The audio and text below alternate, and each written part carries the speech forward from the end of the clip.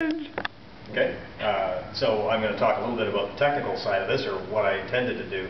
Um, The big thing about painting is that paintings have to be about something, so you can get caught up describing everything in the foreground, everything in the middle ground, and everything in the sky, but it gets too confusing. So to me, this is about the light um, and how the light is reflecting off those long, long waves out in, in Lawrencetown.